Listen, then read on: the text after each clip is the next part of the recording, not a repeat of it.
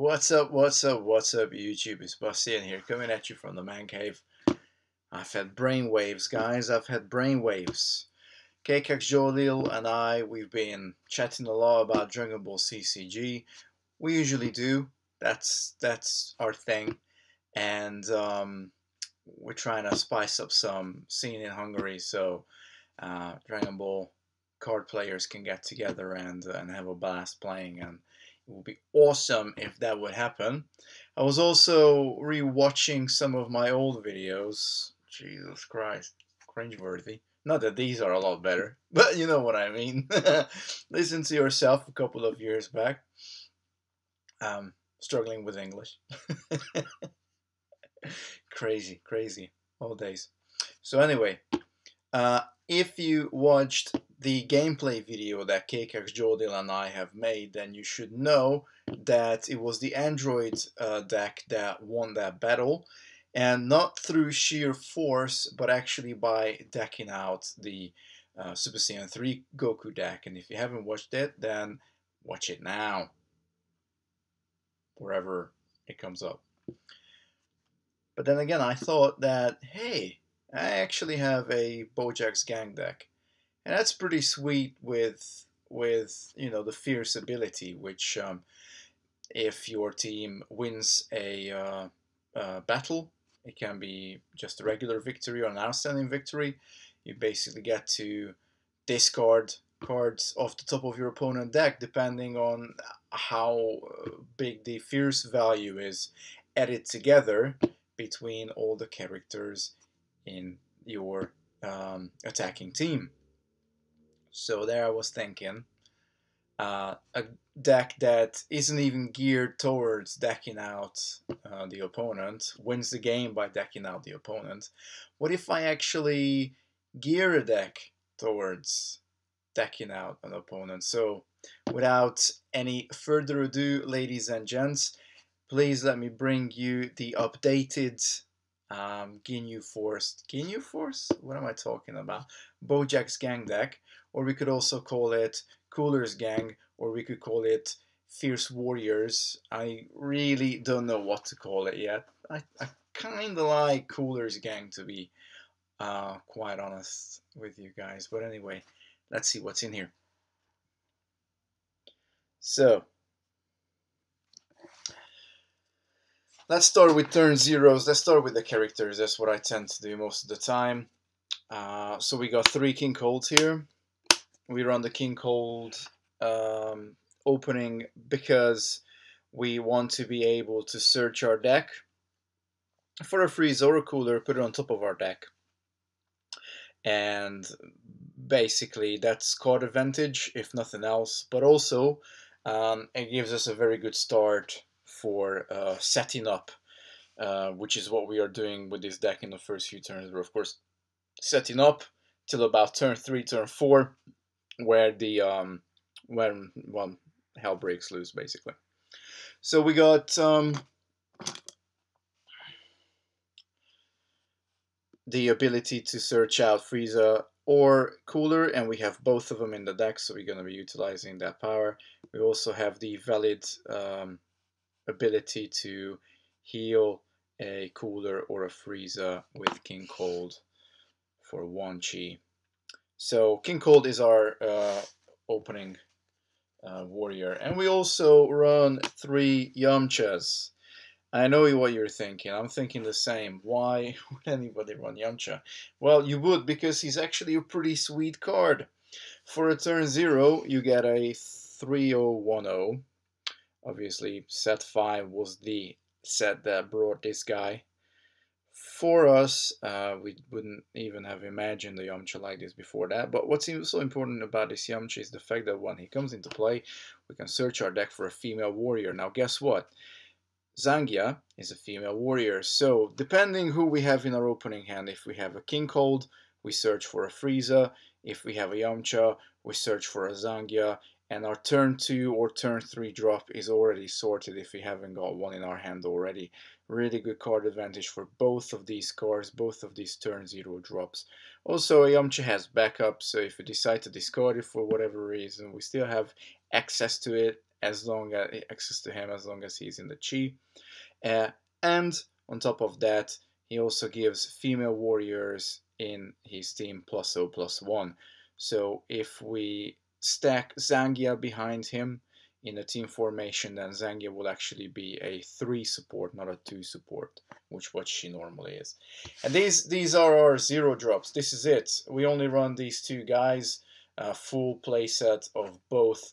They both give us a really good um, opening, regardless which one we have. They're both Rios, so they're both good attackers as well. Turn one, we have uh, the full play set of Kogu. Excellent card. Um, some people might underrate Kogu. I think he's actually just as good as any of the other Bojack's Gang cards. All the Bojack's Gang uh, warriors are extremely good, by the way. So Kogu has ally Bojack's Gang, which means that you can basically put him into your team formation for free with Kogu, you can have a fourth player in your team and that is already pretty good. Uh, and then he has backup, so again you can have access to him if he uh, ends up in your chi. And he also grants plus one plus zero to all the other Bojack's Gang warriors in this warriors team. He's a clear uh, cut support warrior. You would not really put him to be the lead warrior unless you know you have to, unless you're forced to do that but basically think about him as a 2-3 um, because uh, basically it's a it's a free three support if you, understand that there I was talking about struggling with English and I still am okay we run one Frieza. the previous build was running two Friezas. you don't need two Friezas if you get the King Cold out early, you search for this drop, uh, two drop Frieza. If you don't, you search for Cooler. We are also running Coolers in this deck, so you really don't need more than one Frieza. But he's an excellent card and uh, an excellent support warrior as well with a 3-3 ability. Sorry about that, that was my phone. Should I put that on silence? And also for free once per turn, you can um, give one of your warriors plus one plus O. And if your team would be defeated, then that warrior would go into your discard instead of going into the chi. But that's a small price to pay, really, in my opinion. So an excellent support warrior card. That's our first uh, two drop. Then we run two Dr. Wheelos. Um, he's a really good draw engine. He's a really good chi engine yes, you do have to discard a card, but actually you can only do that every second turn because you have to be the attacker for it. But he also has Plunder, so you can steal some of your opponent's Dragon Balls away. That's always an ability that can be pretty useful. Yeah, he's... Um, you probably would want to have your two drops as support warriors, but then again, uh, he's more of a... Um, he's more of a card that you use for its abilities rather than um, really wanting him to be a massive, massive support warrior. So he's a 4-1-2-1, which is okay. We're not using the tool uh, drawer ability. We're really just using him to be a um, card advantage engine in the deck. Uh, two of his is a good spot to be with him. And finally, our last uh, two drops are uh, two copies of Bujin. Bujin, another really good Bojack's Gang warrior, as I said, they all are. Um, he can be both an attacker and a supporter. Um, with a 3-2, obviously he's got pretty good stats. 1-1 um, not so great, but then again, um, he's he's your two drop, so you know don't expect too much of him. He's got backup, uh, also, when your opponent uses a reinforcement technique, that warrior gets minus or minus one, which is really tricky, can really catch your opponent out.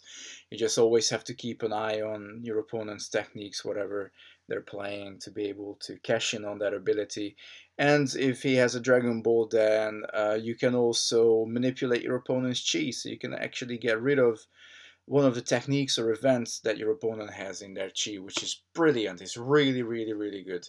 Um, obviously, that is almost. Um, I'm, not, I'm not saying it's going to set your opponent back by a turn, but being able to um, take away their chi is always a powerful ability. This is why um, uh, Siphon uh, is also such a great technique card. Our turn 3, uh, we only have two Zangyas here on the turn 3 slot. She is obviously the one who you search out with uh, Yamcha.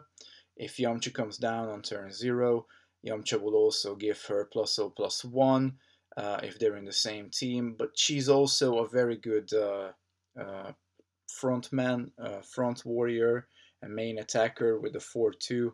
She has backup. She also has Fierce 1, which is obviously going to be our key um, ability in this deck. Um, so our characters from Zangya onwards, they all have Fierce in the deck, which is very important. So already in turn 3, if we win, we are milling our opponent's deck out. Also, opposing male warriors get plus so minus 1. Now guess what? Most people don't really run female characters in this game, so this is a catch-all type of situation. Um, we can pretty much immediately dish out um, plus or minus one to two warriors in our in our opponent's uh, teams, um, and also when uh, any of our Bojack's Gang warriors becomes the user of a technique card, uh, we can give one of our um, Bojack's Gang warriors plus one plus one. So she not only gives uh, gives takes away um, power points from our opponent's team, but also uh, pumps our own team. So what more could you wish for? By the way, Zangya is like an upgraded starter deck Krillin. Um, she's a really, really good card. Excellent card. Turn 4, of course, we need to have two Betos. Um, also Fierce 1. Also backup excellent stats. Even if he gets injured, he still remains a 5-0. Um, pretty much only Android cards do that, that they don't drop some of their combat value uh, when they get injured. But Beto, Beto keeps it, so that's pretty awesome. And of course, Beto's being errated. Uh, he actually gives a plus so plus one to all the other warriors uh, in the team that he's in. So um, he will pump everybody behind him was supporting him. So that is also very powerful. He's like the second in command to um, to Bojack. Excellent card. So we already have one, two warriors that have Fierce 1. Our third warrior, also for turn 4, we run two coolers. And cooler is going to be um, basically another essential part of this deck. This is why I called it Cooler's Gang. Uh, we run two cooler, the third forms. Um, he has Evolution 5 to Cooler the fourth form, which is a card that was printed in the Fusion set. Um, he also has Fierce 1, uh, making him our third warrior who has the ability to mill our opponent's deck. When uh, he comes down, you can search your planet for a Cooler fourth warrior and put it on top of your planet. So we can either search for a King Cold or we can search for our fourth form cooler because of course we are running one of that guy in here. And he also grants plus one plus so to all the other warriors in his team making him an excellent attacker and also an excellent supporter. So we can really mix and match whatever we want to use cooler the third form for but he's an absolutely brilliant card as well. Now you couldn't really build a mill deck without Turles and of course, we do have two copies of Turles for turn 5. Um, he has toughness, and whenever he's sent out to battle, which is his valid ability down there, then our opponent must um, discard a card from uh, the top of his deck. Um, so you don't even need to win with Turles to be milling our opponent. So that is an excellent, excellent ability. And also when he comes into play, we can search our deck for an event and put it into our hand. So we got a lot of cards that search cards. We have Dr. Wheelo, that also uh, gives us card advantage. Of course, we have a couple of events as well. So we got loads of cards that fill our hand up and bring us the right cards at the right time, which is super, super crucial for any deck. Guys, card advantage is very important. So even though Turles doesn't have Fierce, he still mills a card. Even He's even better than the Fierce Warriors. Uh, he only needs to be sent out to attack. And then Big Daddy B, Bojack. We have two copies of Bojack, the, the ringleader of the gang. He has toughness, he has fierce 2. He gives plus 1 plus 1 to all the other Bojack's gang uh, warriors that are in play. Um, making him, you know, just as good as uh, King Piccolo or Supreme Commander Red, um, where they pump everybody in their um, uh, in their um, uh, sort of like their gang. So he also has Fierce 2, which is absolutely brilliant. And if you happen to have a Dragon Ball on him, every turn, if you discard a Bojack's Gang Warrior card from your hand, you can also put a um, Growth Coin on Bojack. So he also has the ability to pump himself, which again is brilliant. And his stats are really good 6 2, 4 2. So he doesn't lose a hell of a lot even if he gets injured. Yes, he does stop uh, he does stop giving out the plus one plus one, but um, at the end of the day, he still has Fierce. And then last but not least, we have one cooler, the fourth form. Uh, he has Fierce too. If you ask my opinion, I think the third form is better.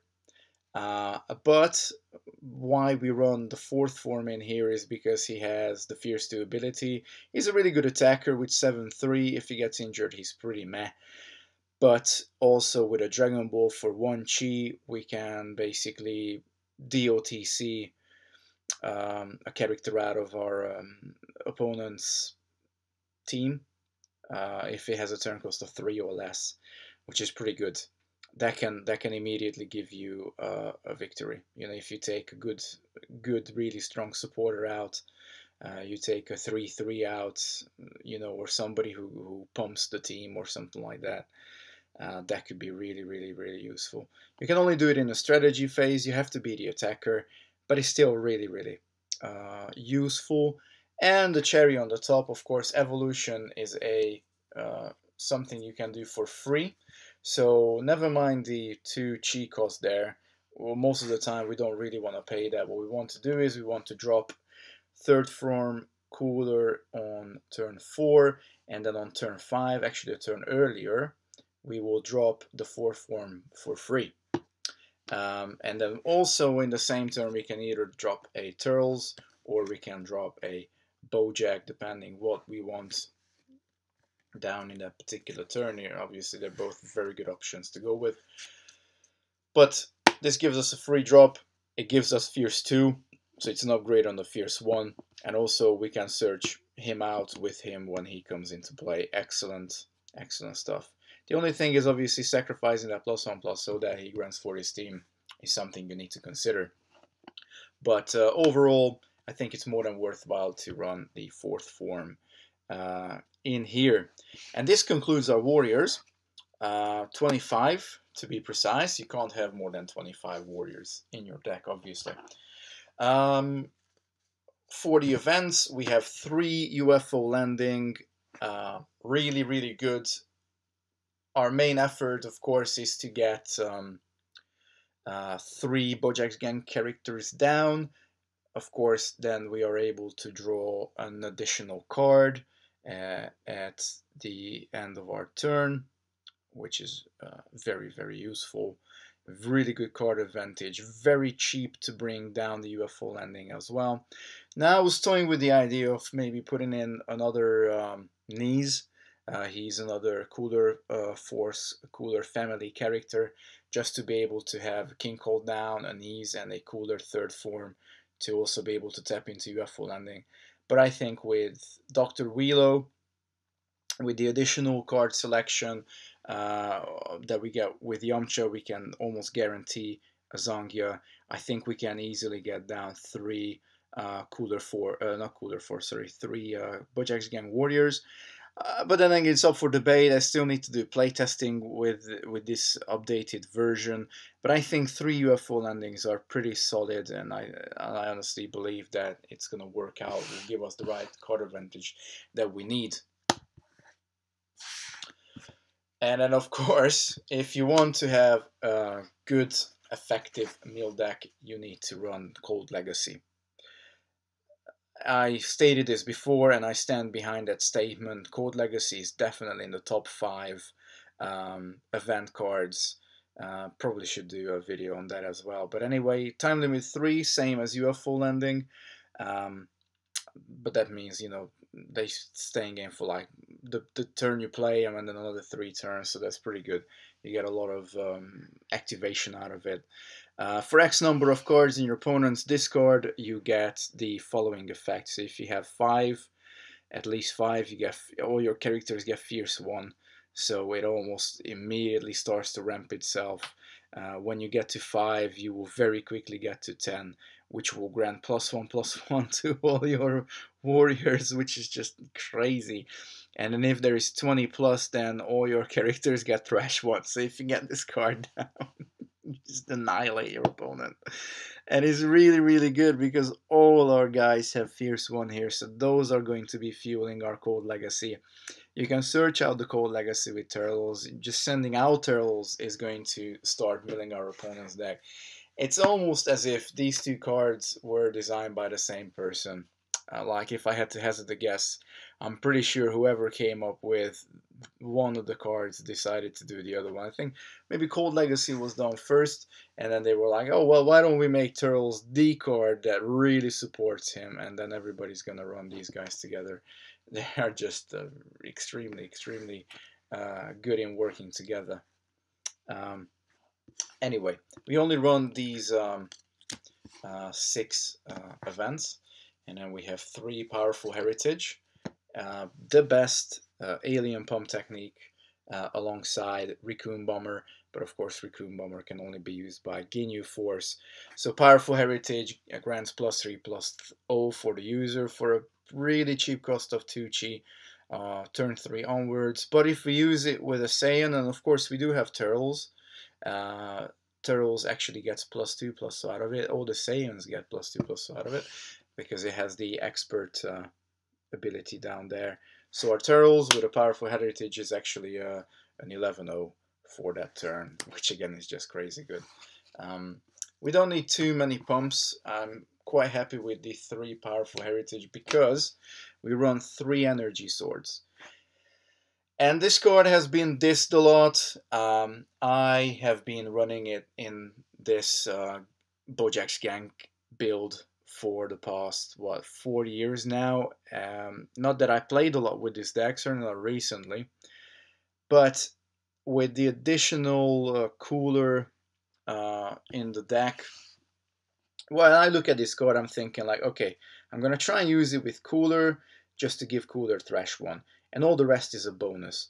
But even the the bonus bit is so good. It's basically uh, either a Dignity of the Conqueror or a Masenko, um, whichever your opponent chooses. They're not gonna uh, they're not gonna you know be able to um, get a good choice out of this. Um, they can either give one damage to the target or they can exclude the target from the team formation. And of course, you play this in the action phase before uh, all the um, before all the um, actual uh, math maths are compared. Um, this really can either way. You know, if if you exclude the warrior, then most likely you are going to win.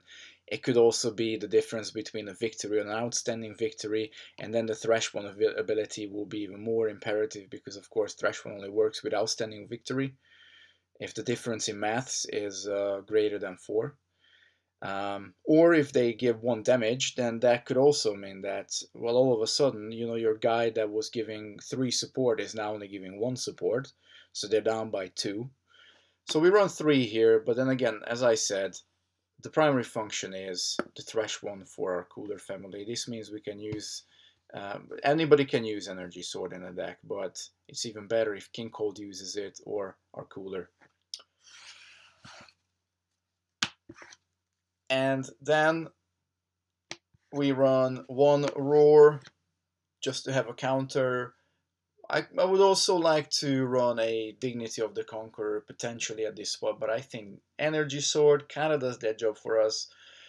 Cooler fourth form has the ability to also do pretty much the same, exclude a warrior, although um, bit circumstantial and only with a turn cost of three or less, but still, still does it. Uh, Roar is a um, take it all technique. It uh, negates anything without any um, obstructions. Of course, it has to be a technique.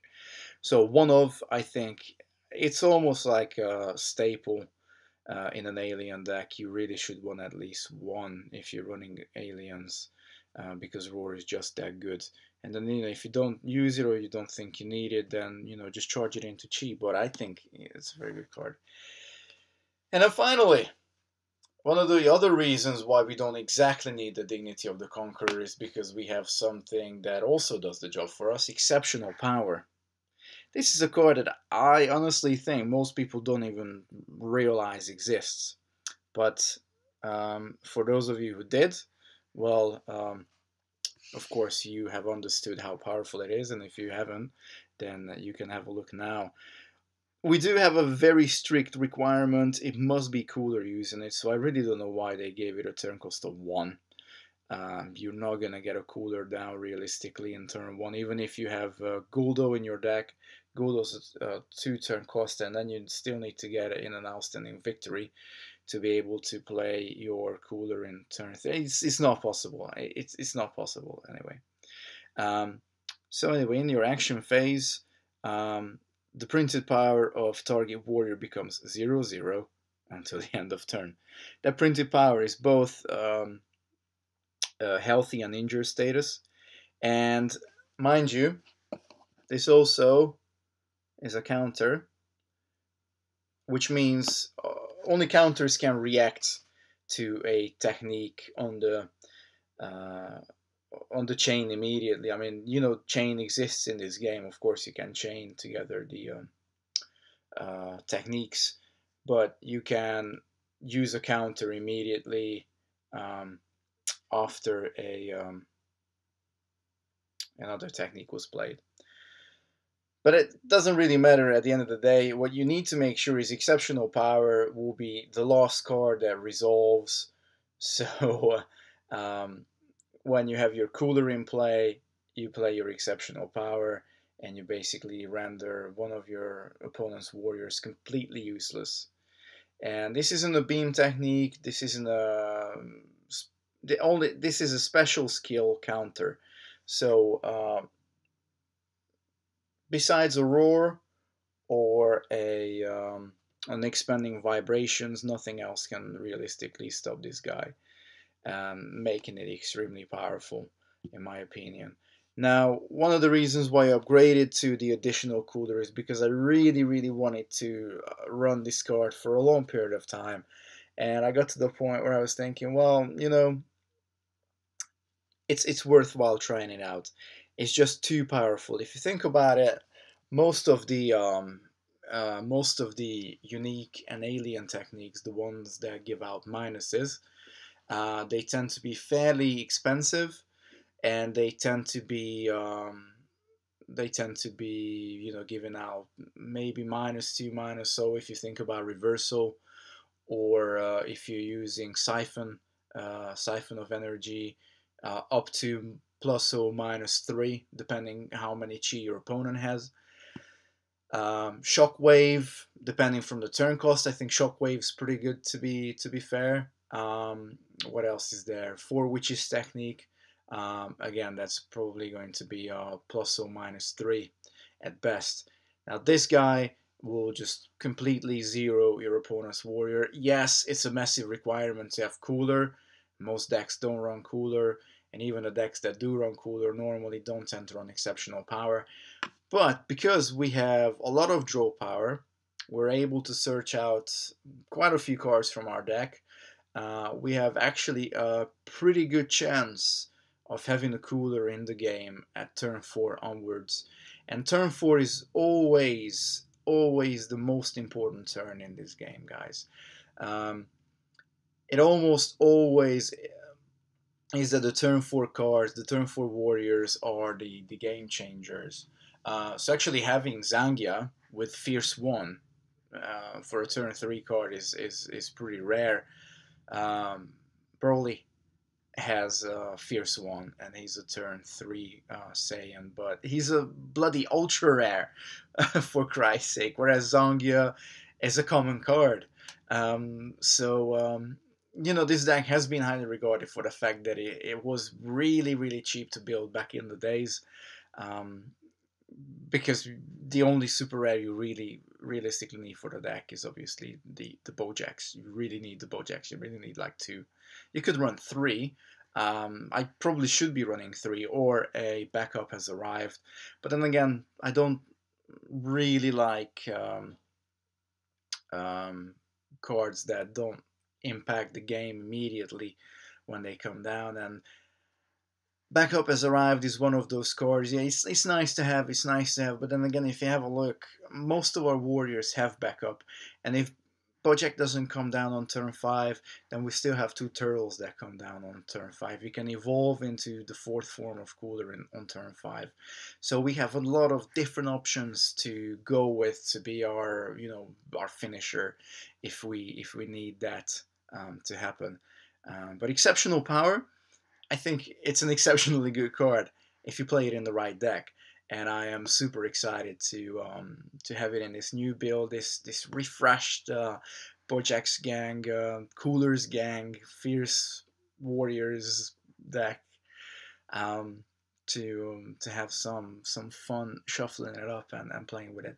So guys, this is it. I will uh, finish it here. I hope you enjoyed this video. I hope you are still supporting Dragon Ball CCG and all the other uh, Dragon Ball card games out there but particularly CCG because it's a really cool game. Um, and this is it for today, guys. Busty signing out. Peace out, YouTube.